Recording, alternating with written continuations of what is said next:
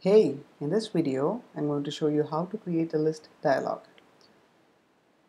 This is the layout we are going to use and we have a button that is called pick color. And when we click on this button, we are going to show a list dialog with a list of uh, colors. You can pick one of those colors and we will display a toast that says which color was picked. That's the idea. And now let's go ahead to values and in the strings.xml we'll be creating a dialog so we need a title for the dialog which is choose a color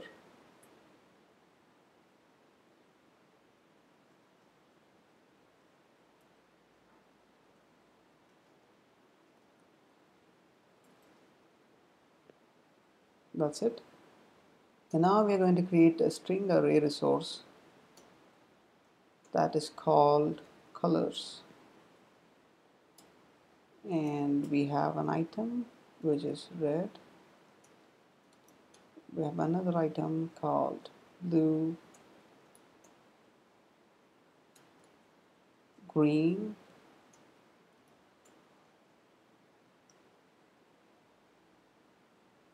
cyan, magenta and yellow. This is the string array that contains the list of colors we're going to use.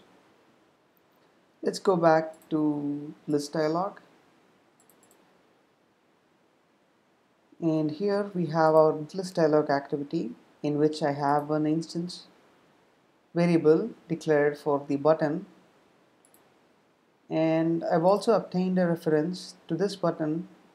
And we also have a click listener which will be showing us the dialog when clicked. First let's create a constant which will identify this dialog. Final int. And this constant is going to be called as the color picker dialog we're going to assign 1 to this constant. And now go to the end of the Java file right click and from source click on override or implement methods. And from the list of methods we're going to choose on create dialog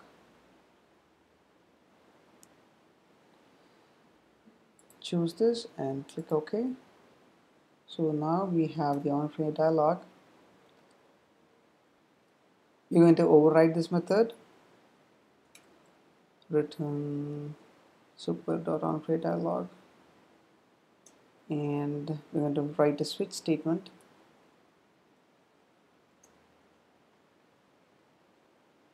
For this ID and the value is going to be color picker dialog. Let's remove the default statement, we don't need it. And here is where we are going to write some code to create the dialog.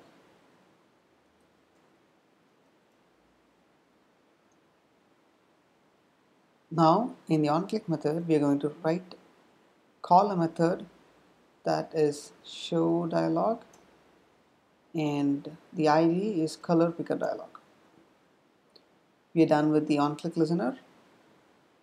And now we need to get the array of colors that we're going to use. First I'm going to declare a variable for that private string array of colors. And on the on create method let's go ahead and get the array of colors from our string array resource. Get resources assign this to a variable and colors equal to resources dot get string array r dot array dot colors. We're getting the the string resource here because we need to construct a dialog that shows the list of colors and we also need to display a toast to the user along with the selected color and that is why we need to get the array right here. Now let's go back to the onCreate dialog method and here we are going to use the alert dialog.builder class to help us out. Builder is equal to new alert dialog dot builder this context and builder dot set title r dot string dot pick color title and builder dot set items the items is our array of colors and we need a on-click listener that will help us find out which item was selected. This listener is completely different from our on-click listener that is found inside the view class. This on-click listener is an interface which is found inside a class named dialog interface. So we're going to use it. You have to be careful about this because sometimes you might unknowingly import an inappropriate class dialog.onClick listener. We're going to instantiate this new dialog.onClick and add unimplemented methods. You can see the view dot on click listener accepts view as a parameter whereas the dialog interface dot on click listener accepts two parameters which are the dialog interface and an integer that gives you the index of the item that was selected. And now we're going to write some code which will display a toast of the selected item. Toast dot text. Context is list dialog. Activity dot this. And the text is colors of which.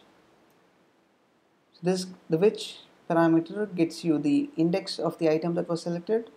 So we have an array of colors. We're going to access the index of the item that was selected on the list. And the duration is going to be toast dot length short. We're going to assign this to a toast instance. And we're going to show a toast. That's it. So you can see that we have the colors list of colors that we are going to display in our dialog. And you can also see that we have a button whose reference we have obtained using the find view by id method. And we also have a click listener for our button. And this click listener will call the show dialog method with the id of our dialog which is the color picker dialog. And when this method is called you will see a dialog on the screen.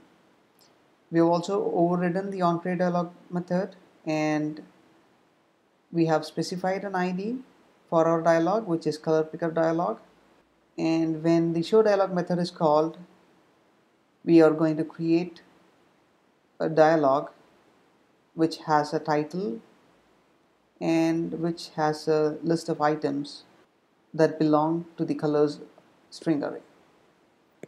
And we also have a click listener to handle a click on the list dialog and when you tap on any one of the list items are going to show a toast with the item that was selected. That's about it. Let's go ahead and run this application. Let's run this as an Android application. Click on OK. Switch to the emulator. Here we go. Let's check this out. Click on pick color nothing happened. That's because we didn't return this dialog instead of the break statement use return builder dot create. Save this. And let's again let's run this program once again to switch to the emulator.